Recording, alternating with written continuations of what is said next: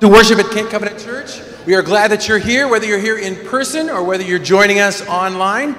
If you're here, please look in the pew racks and you'll see a number of uh, different things that look like this, different cards to fill out. If you please pull out the Connect card and sign up and let us know that you're here, and you can put any prayer requests in there.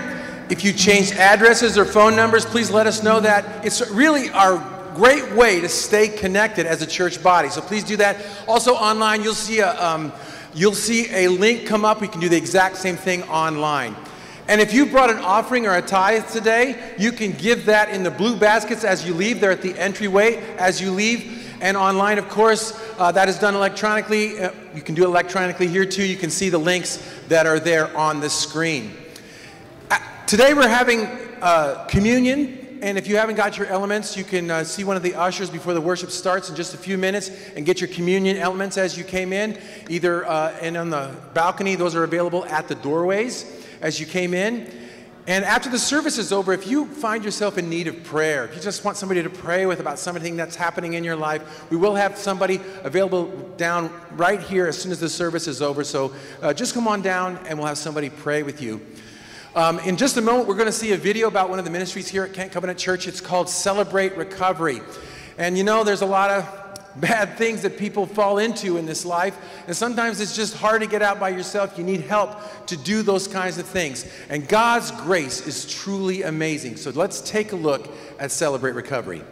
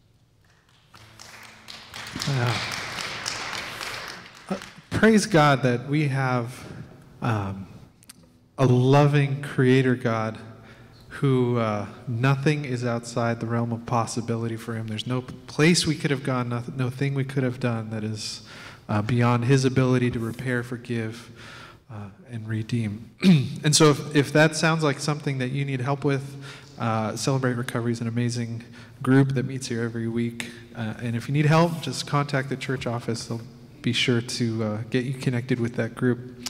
Uh, welcome, everyone, Can't come Covenant Church. My name is Peter Gothold. I'm the pastor of worship and arts here, and it is so great to be with you on this first day of May. Um, I know it's scary. That means the year is a third over. Sorry, that was too much math for a Sunday morning. Why don't you stand uh, and we'll sing together uh, of a God who is both merciful and loving and inviting, but also holy and wonderful and powerful. Um, and it's this mysterious, wonderful God we serve and we worship today.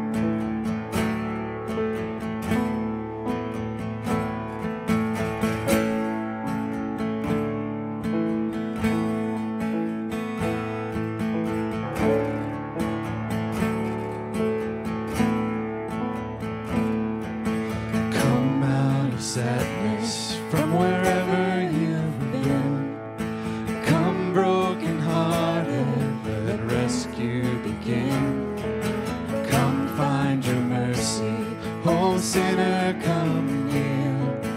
Earth has no sorrow that heaven can't heal. Earth has no sorrow that heaven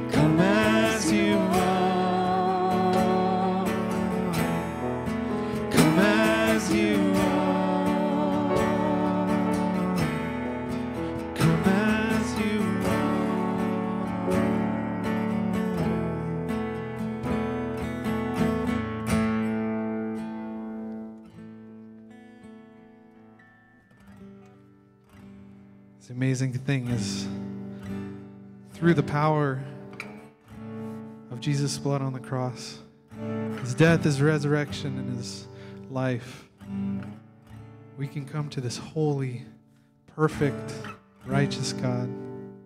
As we are and we are accepted, we are loved, we are brought in. And as we come, we are made into something new. And that new thing is full of life, full of hope, full of light for a, for a world that desperately needs it. It's a pretty amazing mystery. One that I'm intensely grateful for.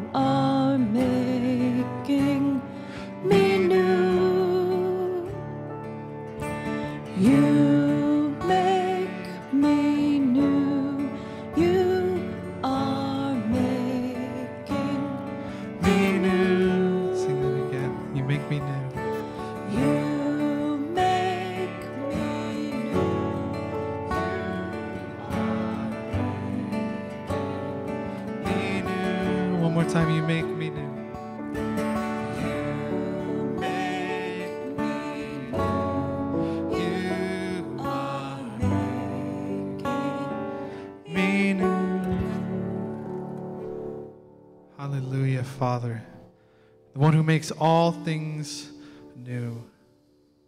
Through your love, by the power of your Spirit, the work done on the cross, and the power shown at the resurrection, Father, you make all things new. It includes, it includes me, it includes us.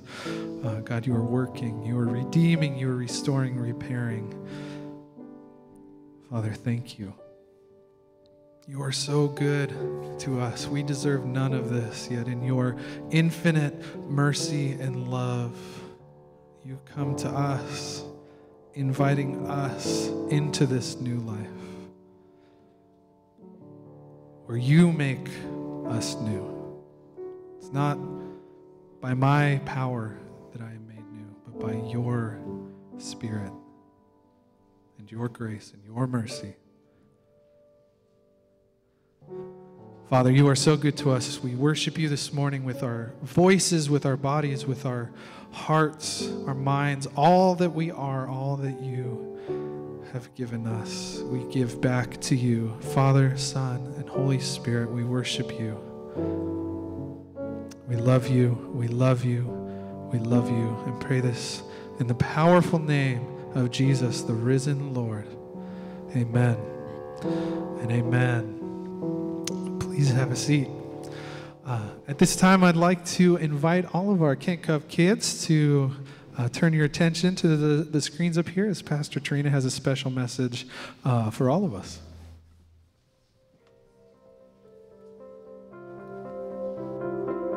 KentCov Kids, Pastor Tarina here, and our story this month is Luke 24, verses 13 through 35.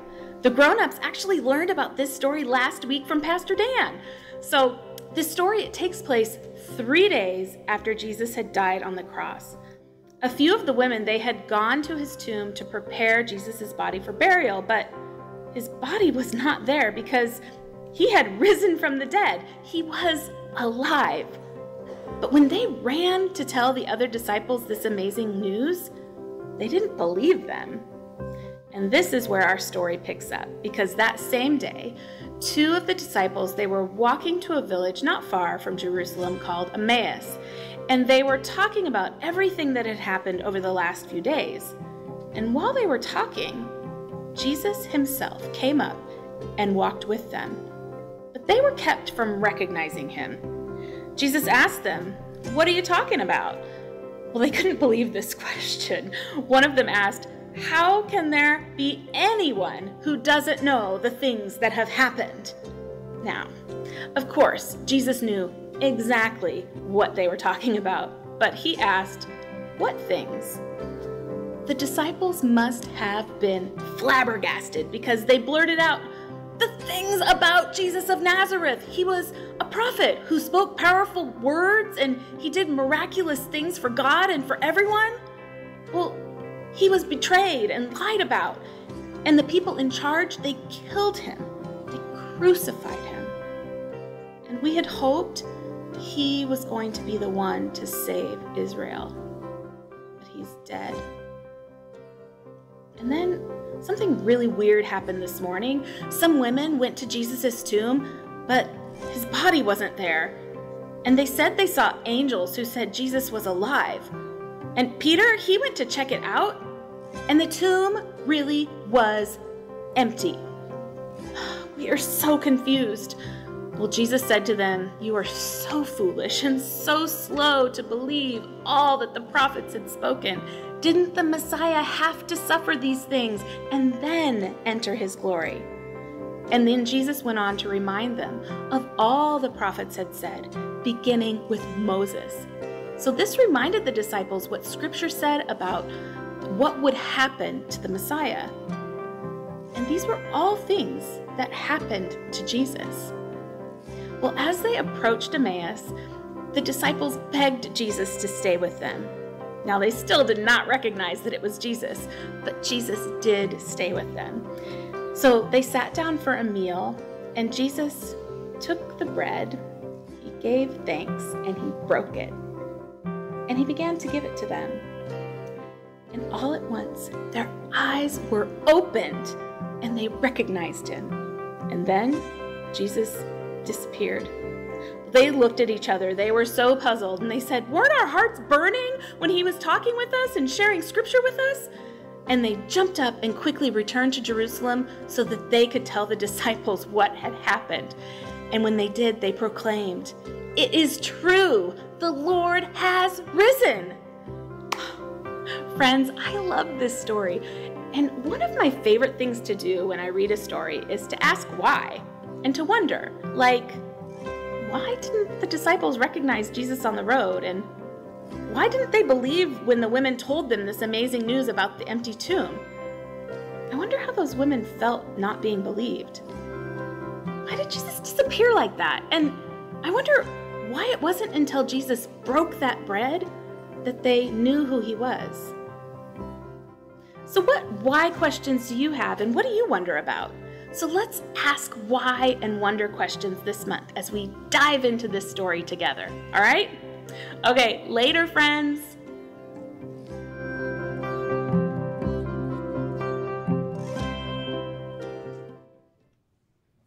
That, Pastor Trina. At this point, I'd like to invite our kids to head to these doors back here to meet their volunteers as they go to their workshops. And as they go, church, let's sing this blessing over them.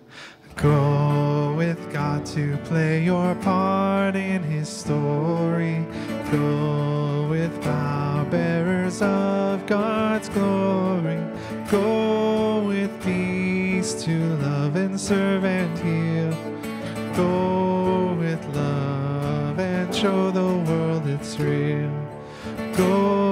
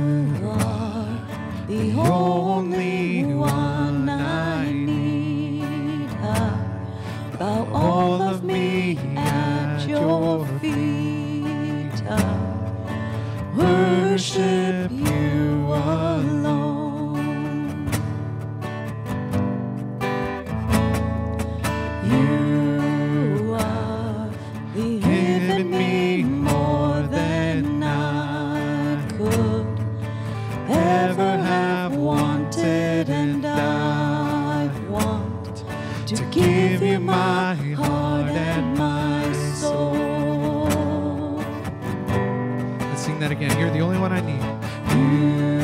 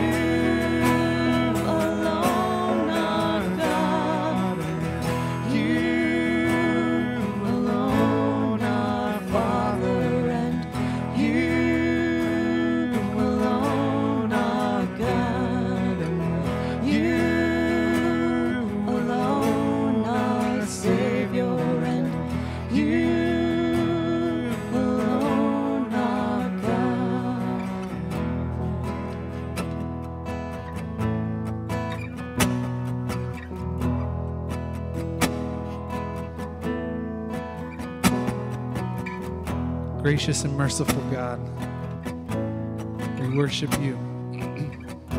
We thank you. We love you. We are here because of you, your greatness, your grace, your love. So, Father, we thank you. We love you. We love you. We love you.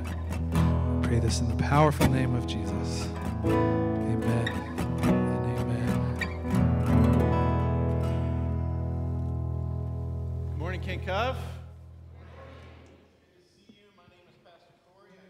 Pastor here at Kent Covenant Church, and we are continuing this morning a series called The Next Normal. And our text today is from uh, the book of Acts, chapter 9, beginning in verse 1, and we're going to go through verse 22.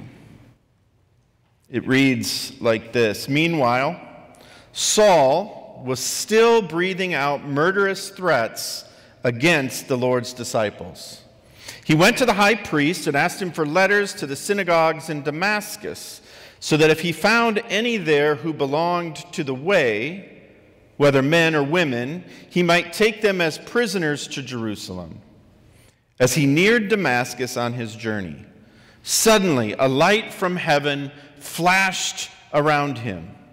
He fell to the ground and heard a voice say to him, Saul, Saul, why do you persecute me? Who are you, Lord? Saul asked. I am Jesus, whom you are persecuting, he replied.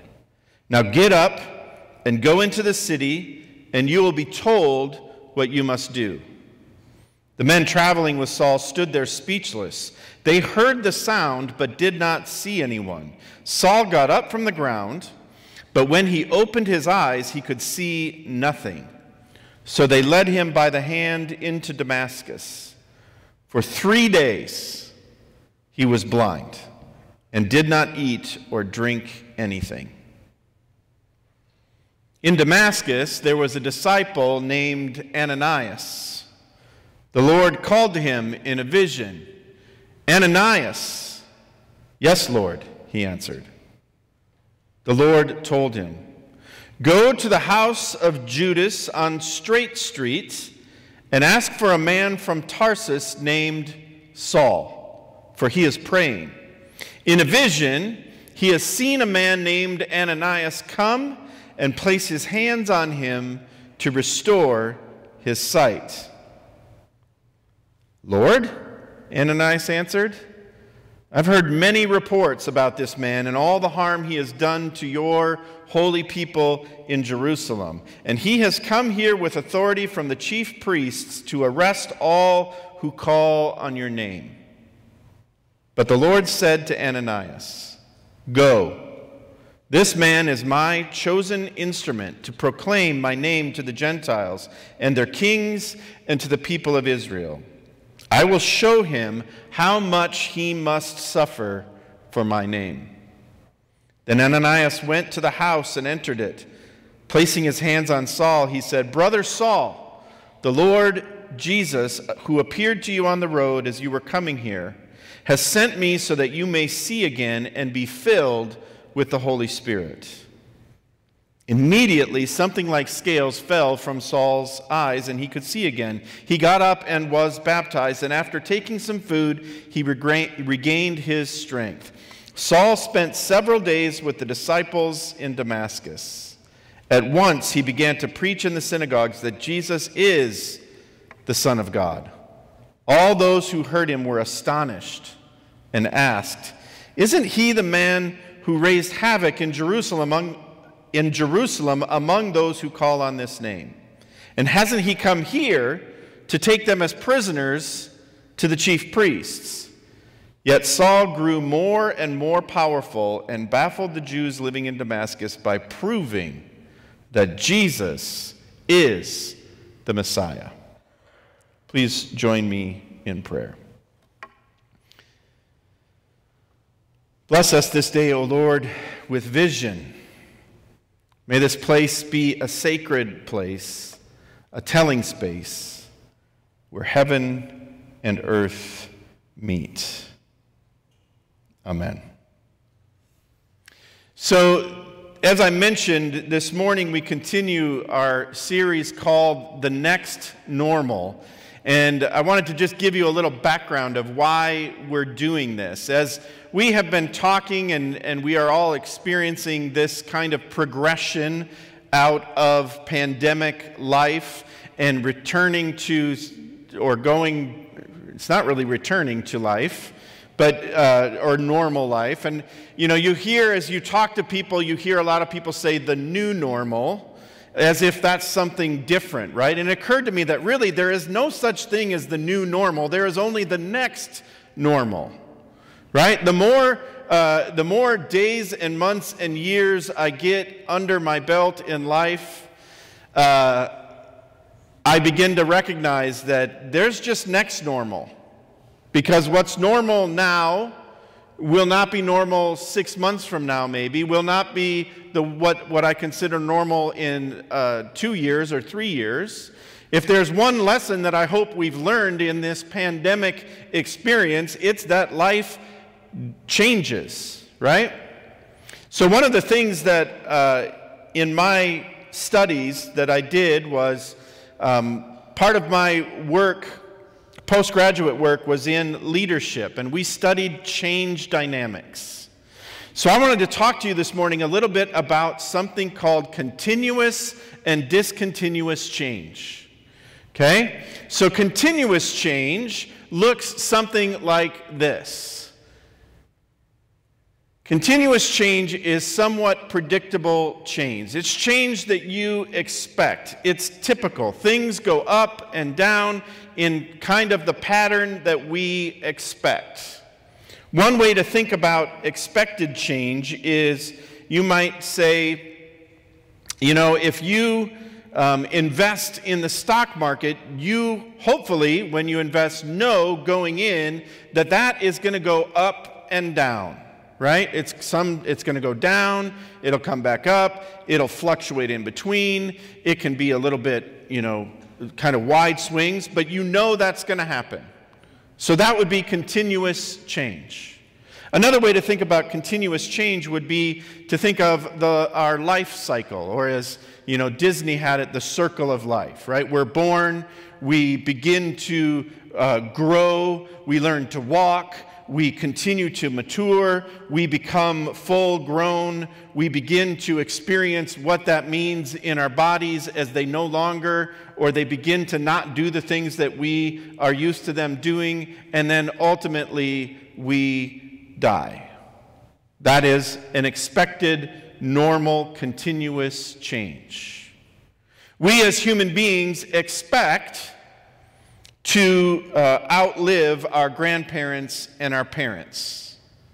We expect that one day we will have to do, you know, take that part of the journey that is saying goodbye to our forebears. That is continuous change.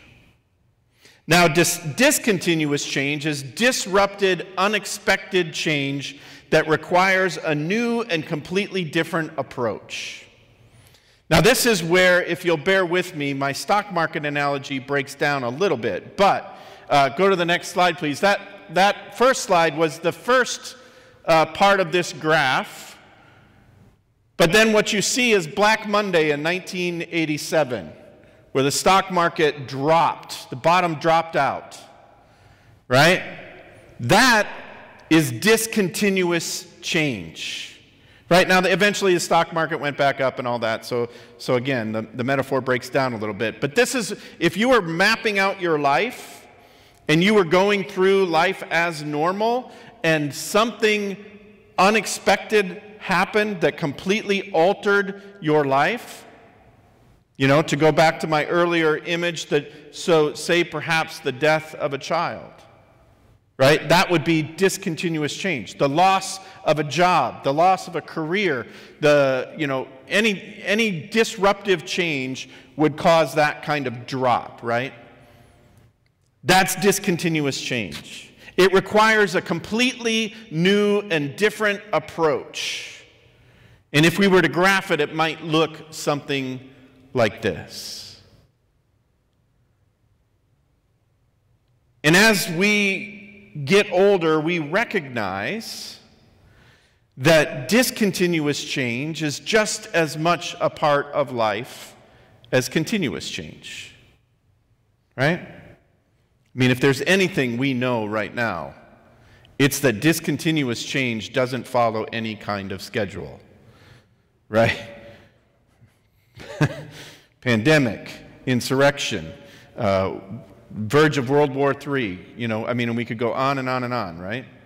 Discontinuous change. It requires a completely different approach. Now, our story this morning, we pick up in chapter 9. Saul has been persecuting the church. He's been coming after the church hard. And now he's kind of so so hard that the church has a lot of the believers that have left Jerusalem and they've fled this persecution. And a whole bunch of them went to this city called Damascus. And so Saul has gone to the chief priests and he's gotten a letter to go to Damascus and arrest these people and bring them back so he can finish the job that he started. So that's kind of a little bit of the background of the story. Now, one of the things we need to look at, and I want to be careful with this because, you know, we can get into this tendency to take these biblical characters and kind of want to psychoanalyze and figure out, well, why would Saul do this and that and the other thing? And ultimately, that might be interesting, but there's really no way for us to know. But there are a few things we can know or see in this story about Saul that I think apply to us. The first is this just from this behavior that we see here, Saul getting this letter from the chief priest to go to Damascus to arrest these, these heretics. What do we know about Saul? We know that Saul didn't think, Saul knew, Saul believed to the core of his being that he was right. That he knew the truth and it was his job to protect it. Because if you don't know that, you don't do what Saul is doing. So Saul has this deep down rock solid understanding of what the right belief is. And he knows that Jesus is not the Messiah, and these people are dangerous and they need to be stopped.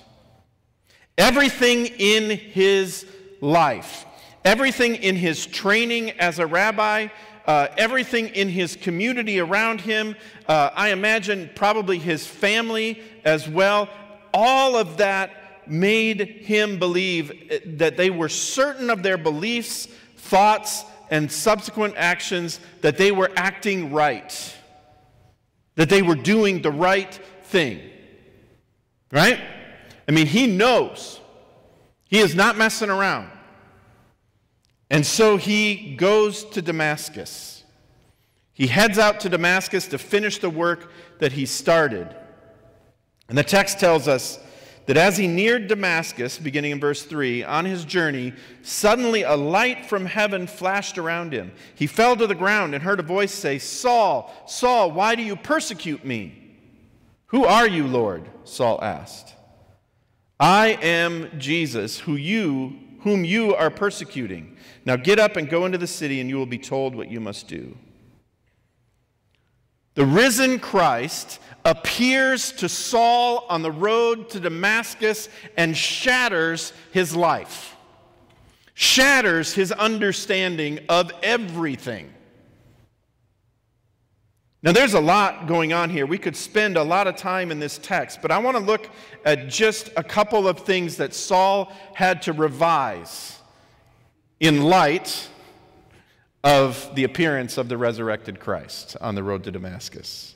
So, five moves that this experience creates in Saul's life and thought. First move is that Saul uh, has to come to the recognition that everything that he thought was right was being not only was not only wrong, it was being rebuked by God. That's a mind bender, folks. Right? I mean, everything you have been taught to believe with the earnestness of faith, with the, with the confirmation of your religious community all around you, and everything is being rebuked because God is appearing and saying, No, you've got it backwards. He was so certain of it, and the resurrected Christ just blew it all up. Second move he has to make. He has to completely revise his understanding of, and judgment of Jesus and his teaching. He has to completely revise his understanding of Jesus and his teaching. Third thing, he has to completely revise his understanding of the Messiah. Right? Now, we don't have time to unpack that, but if you've been in church for a while, you kind of know the story, right? That the Messiah was going to come and institute his kingdom and, you know, and establish David's throne, right? It was temporal. And Jesus has come and just died on a cross and blown all that up too. But it's also clear that that kingdom was inaugurated by the death, resurrection, and ascension of Jesus. It is now present. And Saul has to figure that out. Fourth thing that this appearance does is that Saul had to recognize that God makes no distinction between his followers on earth and Jesus. Did you catch it? Saul, Saul, why do you persecute me?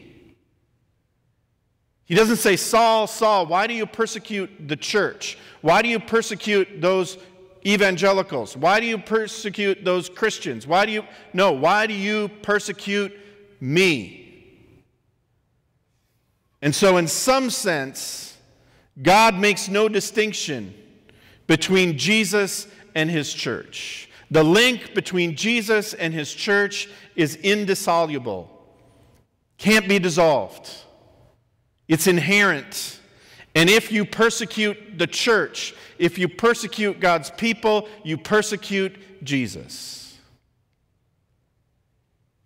And then Saul was given a message, a mission. Go. Right? He doesn't know what that means yet, but he's told to go into the city and, and that it'll be made clear to him. So, what does all this mean for us? You know, the more I read this story and thinking about the way that Saul experienced discontinuous change on the road to Damascus, right?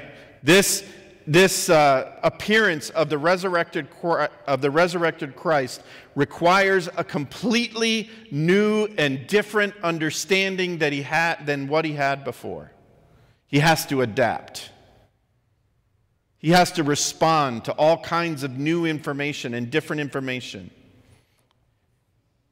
And I can't help but wonder, I can't help but wonder if our certainty sometimes, if our certainty about who we are and what we believe and how that works in the world doesn't keep us from experiencing the scandal and dynamic power of the risen Christ in our lives.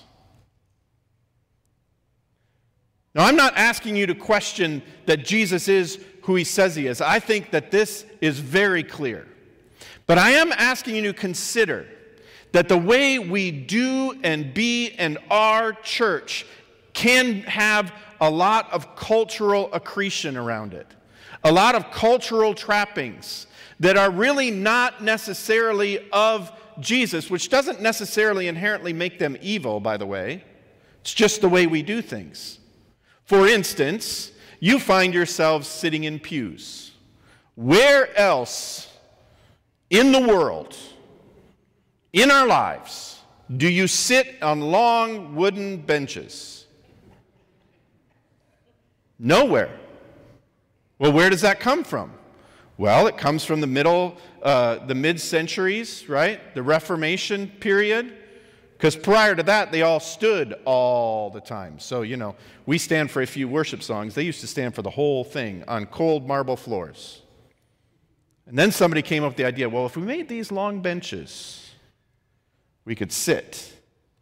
Right? It's a cultural accretion. It's just, a, it's just something we do. Now, I once had a church, it's a long story for another day, remove the pews. You want to talk about sacred cows making gourmet burgers. But I use this as an example. There are a lot of different ways that the way that we are church has nothing to do with the resurrected Christ. And in fact, because we're so dogmatically committed to it, we crowd out his appearance. Because we know what we know, what we know, and we know it's right. We were trained to know it's right. Just like Saul was trained and taught from the scriptures that the Messiah was to come and to establish the throne of David and to throw those dirty, foul Romans out. So Jesus couldn't possibly be the Messiah because he died on a cross. So the application for us, friends, is to maybe ask the question I wonder if our certainty about who Jesus is and where he calls us keeps us from experiencing the resurrected Christ. Saul had to have his life entirely blown up for him to see it. The resurrected Christ appeared on the road to Damascus, and, and Saul's life, as we know, was never the same, and neither was his name. We, in our Christian bubble, value, we prize in many ways certainty and rigidness in thought reflexively. Right? Just imagine if somebody came to you and um, challenged one of your confirmed beliefs that you have been taught ever since you were a, a young pup, what that might do to you. Now, again, I'm not saying we should just, oh, willy nilly decide to change everything, but I am saying that we should be willing to allow the Spirit to prompt us to examine what it is that we think we understand. It's called humility, and it's a virtue. We get rigid and sure of our rightness. We don't like to be challenged. We don't like our comfort threatened. And honestly, sometimes the longer we are like that, we get a little hard to live with. But the other thing I noticed about this text as I'm reading through this story is that it offers another way of being. It offers another way of being, another view of following. The text tells us in verse 10 that in Damascus there was a disciple named Ananias. And the Lord calls to him in a vision, Ananias. Yes, Lord, he answered. The Lord said, Go to the house of Judas on Straight Street, which actually, I'm told, is still actually a street in Damascus. And ask for a man from Tarsus named Saul, for he is praying. In a vision, he has seen a man named Ananias, convenient, come and place his hands on him to restore his sight. Lord,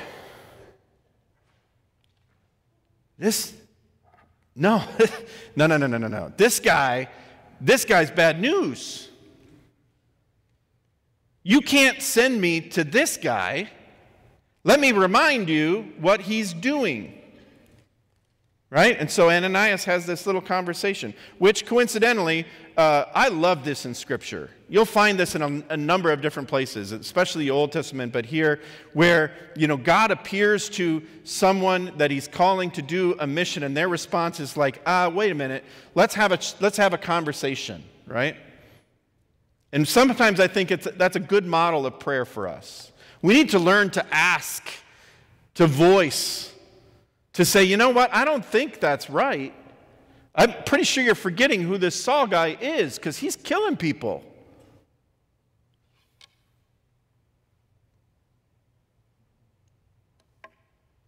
But the Lord said to Ananias, Go.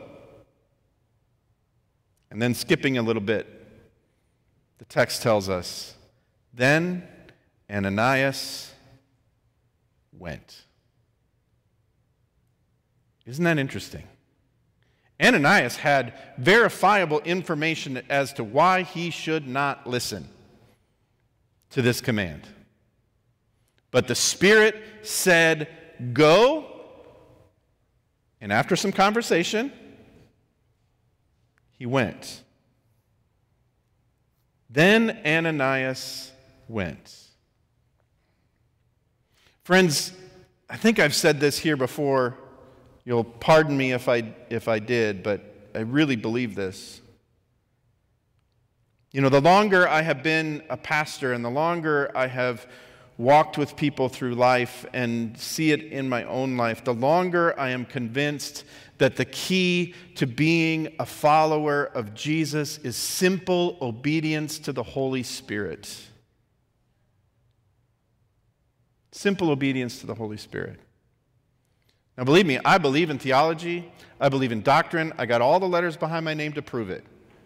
I've gone all the way with that stuff. And I value it, and it's super important. And it needs to, and it needs to be done, and we need to know this stuff. But if that becomes the primary form of our discipleship, we will lose touch with the Holy Spirit. And we will become rigid know it alls who are impossible to live with. And we will find ourselves eventually, maybe on our own road to Damascus, sure that we are doing the right thing, supporting the right person, following the right politics, doing the right thing. And we will find ourselves where we did not intend to go and find ourselves somewhere that is not of God. But instead, if we develop a simple obedience like Ananias, that's willing to hear from the Spirit and engage in conversation, and then when the Spirit says go, the text says of us, and then so and so went.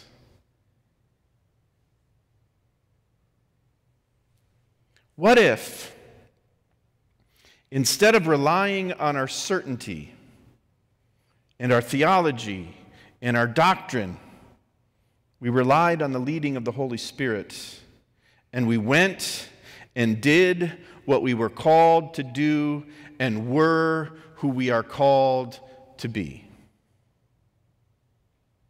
What might happen? Well, I think this text gives us a glimpse of what can happen when we follow the simple guidance of the Holy Spirit. Because Ananias going, you can make the argument, Ananias going was a fulcrum on which history rested. The greatest missionary in our tradition, Paul. If Ananias says, you know, God, this guy's killing people, I'm not going. Now, God probably would have found somebody else. But, you know, who knows? But my argument is imagine what happens. So, what happens when we simply obey? When the Spirit says go and we go? We can't know. We, we can't know, but it can be pretty amazing, world changing, in fact. Let us pray. Gracious God, we thank you for your love for us. We thank you that you pursue us even in the midst of our certainty, even in the midst of knowing that we are right, you disrupt our lives. You turn them upside down. And you bring sight to our blind eyes. God, may it be so in us. Amen.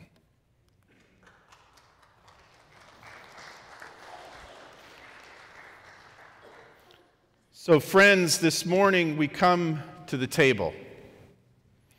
And uh, just a couple words about that as uh, if you are visiting with us or you're new to Kent Covenant Church, we here at Kent Covenant and in the Covenant Church practice what is called an open table, which means that we believe this is the Lord's table.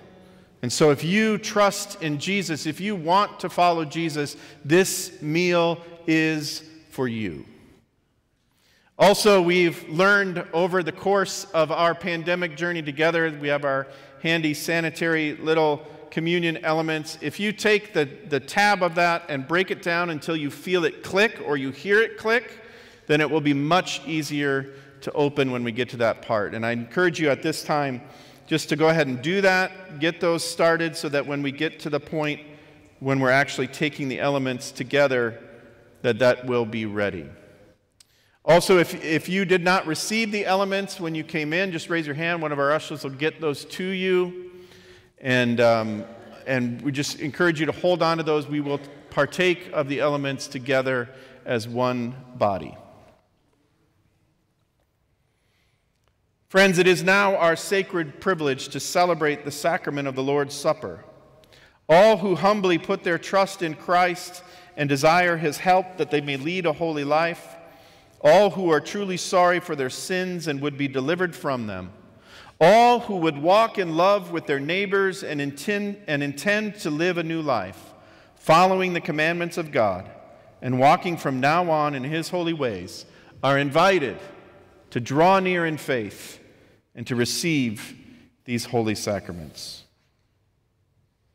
Friends, this is the joyful feast of the people of God.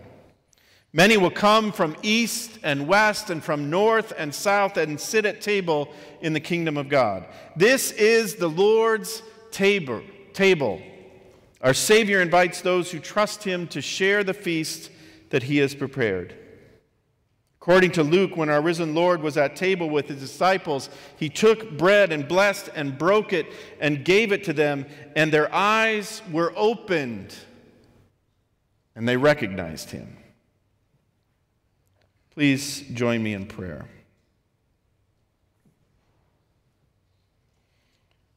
We do not presume to come to this your table, O merciful God, trusting in our own righteousness but in your manifold and great mercies. We are not worthy so much as to gather up the crumbs under your table. But you are the same Lord whose nature is always to have mercy. Grant us, therefore, gracious Lord, so to eat the bread and drink the cup, that we may evermore dwell in him and he in us. Amen. Hear the words of our Lord Jesus Christ as they are delivered by the Apostle Paul. For I received from the Lord what I also handed on to you that the Lord Jesus, on the night when he was betrayed, took a loaf of bread, and when he had given thanks, he broke it and said, This is my body, broken for you. Do this in remembering me. In the same way, he took the cup also after supper, saying, This cup is the new covenant in my blood. Do this as often as you drink it in remembrance of me. For as often as you eat this bread and you drink this cup, you proclaim the Lord's death until he comes. Please join me in prayer.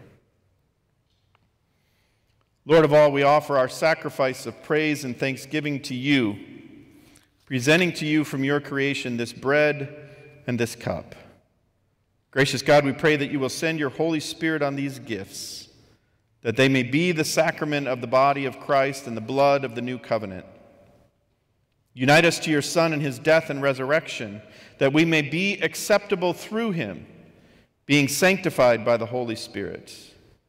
In the fullness of time, put all things in subjection under your Christ and bring us to that heavenly feast where, with all your saints, we will be gathered in glory everlasting through Jesus Christ our Lord, the firstborn of all creation, the head of the church, and the author of our salvation. By him and with him and in him, in the unity of the Holy Spirit, all honor and glory is yours, Almighty Father, now and forever. Amen.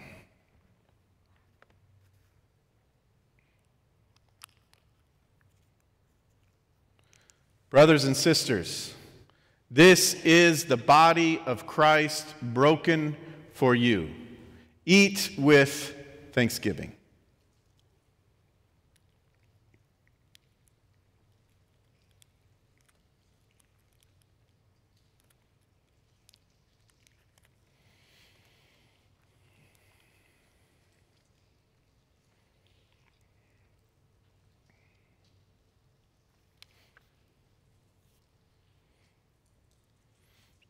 Friends, this is the cup of the new covenant in the blood of Christ. Drink with great joy.